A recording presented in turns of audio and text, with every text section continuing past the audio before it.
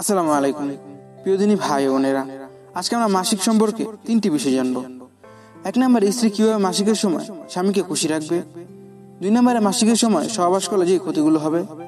তিন নম্বরে, মাসিকের সময় সহবাস করা যাবে কিনা? তো এক নম্বরে, স্ত্রী কীভাবে মাসিকের সময় স্বামীকে খুশি রাখবে? স্ত্রী তার স্বামীর লিঙ্গকে হ্যান্ডজবের মাধ্যমে বীর্যপাত করিয়ে স্বামীকে সহবাসের আনন্দ দিতে পারেন। এই কাজ করার পূর্বে আগের মতো স্বামী স্ত্রী একে অপরকে আলিঙ্গন, চুম্বনের মাধ্যমে নিজেদের মধ্যে সহবাসের উত্তেজনা জাগিয়ে নেবে। দুই নম্বর পদ্ধতি হলো উত্তেজিত লিঙ্গ স্ত্রীর উরুতে ঘর্ষণের মাধ্যমে বীর্যপাত ঘটিয়ে স্বামীর যৌন আনন্দ উপভোগ করতে পারে। মাসিকের সময় সহবাস করলে যেই ক্ষতিগুলো হবে। মাসিকের সময় জরায়ু ও জনির অম্লভাব থাকে না, তাই এটি খুব সহজেই রোগ জীবাণু দ্বারা আক্রান্ত হতে পারে। মিলনের সময় এবং পরবর্তীতে প্রচণ্ড ব্যথা হতে পারে। রক্তপাত তুলনামূলকভাবে বেশি হতে পারে। দেহ পবিত্র লাগে বিধায় মানসিক অরুচি সৃষ্টি হতে পারে। পুরুষের লিঙ্গে রক্ত লেগে যৌনমিলনে তার অরুচি জন্মাতে পারে। পুরুষের কোনো রোগ থাকলে এ সময় অতি দ্রুত নারী জন্মিতে ছড়িয়ে পড়ে। তেমনি নারীদেরও কোনো রোগ থাকলে পুরুষের দেহে দ্রুত ছড়াতে পারে।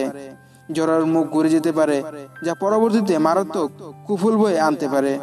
মাসিকের সময় সহবাস করা যাবে কিনা? ইসলামের দৃষ্টিতে এ সময় যৌন মিলন হারাম। পবিত্র কোরআনে আল্লাহ তালা বলেন, এটা অসুচি। কাজেই তোমরা হায়াজ অবস্থা স্ত্রীগণ থেকে বিরত থাকো। এবং যতক্ষণ না তারা পবিত্র হয়ে যায়, ততক্ষণ তাদের নিকটবর্তী হবে না। যখন উত্তম রূপে পরিশুদ্ধ হয়ে যায়, তখন গমন করে তাদের কাছে। যেভাবে আল্লাহর হুকুম দিয়েছেন। নিশ্চয়ই আল্লাহ তবাকারী এবং যারা অপবিত্র হতে বেঁচে থাকে তাদেরকে পছন্দ করেন। সুতরাং স্বামীর জন্য জায়েজ হবে না। স্ত্রী সহবাস করা যতক্ষণ না স্ত্রী হায়াজ থেকে মুক্ত হয়ে গোসল করে পবিত্র হয়। হাজ অবস্থায় স্ত্রী সহবাস যে একটি গর্হিত ও হারাম কাজ, রাসুল করিম সাল্লাহ আলাইসাল্লামের হাদিস থেকেও তার প্রমাণ পাওয়া যায়।